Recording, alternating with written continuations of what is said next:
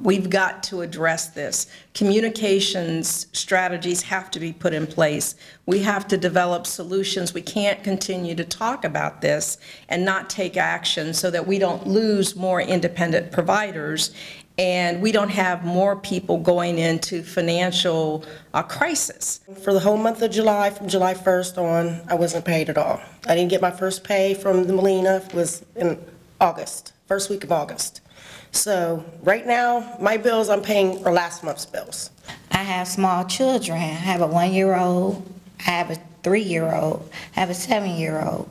I have to pay for their schooling, their diapers, everything on my own. But I can't look them into their eyes crying, saying, you know, you can't have this or that because mommy's not getting paid. I was told I would not be paid but once a month. For me personally, this is not feasible. Unfortunately, I had to make the decision based on misinformation to leave my full-time job. I felt I was abandoning my client after 10 years. They've used topics such as, uh, we are taking care of all these problems, they're getting solved in their current, but there needs to be more training.